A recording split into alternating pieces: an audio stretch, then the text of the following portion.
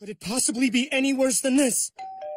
So after further investigation, turns out there is no doctor medicine in Gravity Falls. You better have a darn good explanation for this. Oh, and I do. You see, I lied to you. In addition, I've been parking in handicapped spaces, shoplifting fireworks, and smuggling endangered animals across multiple state lines. Also, you're fat. Is all this true? No, no, it's not true. Never committed a crime in his life. Also, have you lost weight?